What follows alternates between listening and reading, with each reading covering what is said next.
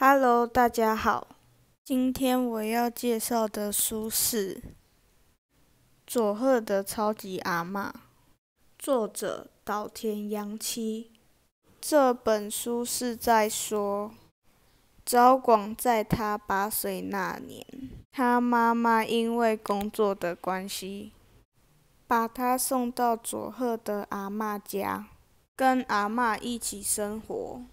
但是他一开始并不愿意，阿嬷说什么他都不听。后来他越来越习惯这种贫困的生活。佐贺的阿嬷真的很乐观面对生活中的一些难题，例如像是从河里捡一些蔬菜水果来吃。还有在腰上绑着磁铁，边走边吸，小螺丝钉和废铁等等的拿去卖钱。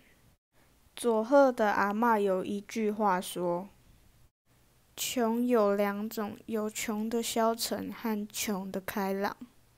我们家是穷的开朗，而且啊，我们跟最近才刚变穷的人不一样。”你不用担心，要有自信，因为我们家的祖先可是世世代代都穷的。做有钱人很辛苦的，要吃好东西，要去旅行，忙死了。穿着好衣服走在路上，还要小心不能跌倒。光从这一点来看，穷人一开始就穿着脏衣服。淋了雨，坐在地上跌倒都无所谓。啊，穷人真好！看完这本书之后，觉得能以乐观的方式面对贫穷的佐贺阿嬷，真的很不容易。佐贺的阿嬷说过：“聪明人、笨人、有钱人和穷人。”过了五十年后，都一样是五十岁。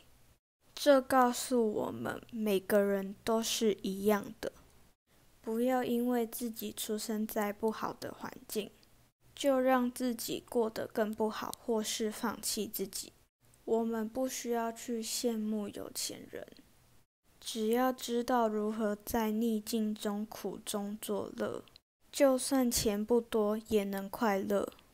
还有这本书也让我知道了，当我们觉得自己生活不幸福、很难受的时候，就应该去想想佐贺的阿嬷会怎么做。那些非洲难民们遇到的困境，想到这些就要觉得自己已经很幸福了，不要身在福中不知福。